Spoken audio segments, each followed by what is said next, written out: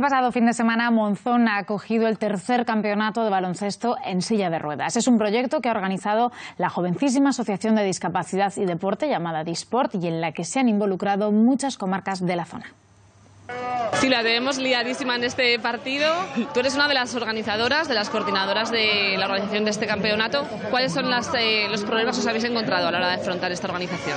Bueno, pues a ver, lo primero a nivel de colaboración de las empresas de, de Monzón y Comarca, pues bueno, siendo la situación económica que tenemos, la verdad que hemos tenido apoyo bastante, pero bueno, para nosotros insuficiente, ¿no? Siempre, eso siempre, nunca, te, nunca tienes bastante. Entonces, eh, eso por una parte. Y luego el tema de organización del campeonato puramente dicho, pues bueno, ya habéis visto, son gente en silla de ruedas que muchos sí que son capaces de andar algunos, otros tienen, van en silla pero tienen mucha autonomía, pero hay otros muchos que no son autónomos. Entonces, bueno, pues a la hora del alojamiento, los hoteles, hemos tenido que buscar sitios en los que, bueno, pues para la silla de ruedas, tuviera un baño amplio. Entonces, bueno, esa serie de cosas también es muy complicado porque, bueno, pues aquí en Monzón tenemos una serie de alojamientos y, bueno, pues algunos de ellos más adaptados que otros y los que están poco, pues a lo mejor haciendo alguna modificación, sacando alguna puerta, haciendo alguna modificación poco relevante, lo hemos podido utilizar. Pero bueno, esos han sido los problemas más grandes.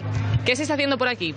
Eh, pues estamos poniendo el sello de Dispor en, en, las papeletas para las comidas para los árbitros y para los deportistas. Ellos irán allí con sus tickets y, y tienen todo lo desayuno, comida, cena, todo cubierto. ¿Y han querido colaborar? Hay un trabajo que desde luego es bastante, bastante duro y que nunca se termina viendo.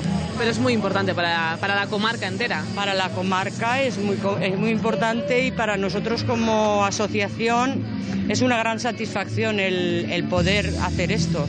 Disporta es una asociación muy jovencita, tiene solo dos años, pero ya es bastante ambiciosa porque el año pasado organizasteis el campeonato de atletismo adaptado y este año el de baloncesto en silla de ruedas, pero ese no es vuestro freno. No, la verdad que nos hemos puesto el límite, bueno, no nos hemos puesto límite.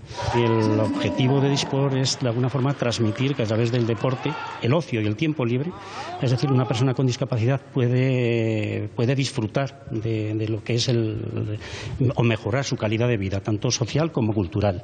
¿Tú cuánto tiempo llevas dedicándote al baloncesto? Mm, llevo ya nueve años con este. ¿Y qué beneficios le ves a practicar deporte después de tener una discapacidad física? Pues mantenerte en forma, relacionarte, sentirte vivo, digamos. Además necesitas un montón de fuerza. Sí, sí, bueno, eh, claro, eso con la práctica se va cogiendo la fuerza en los brazos porque ya que nosotros no utilizamos las piernas, pues el doble de fuerza en los brazos, sí. Partido en marcha ya y por aquí está la selección andaluza de baloncesto. ¿Qué habéis venido a estudiar la estrategia del rival o qué? Sí, a ver cómo se, cómo se le da el partido y también animarlo, que sea un compañero. O sea que hay deportividad aquí entre vosotros. Claro, y además nos llevamos muy bien todo. Corremos,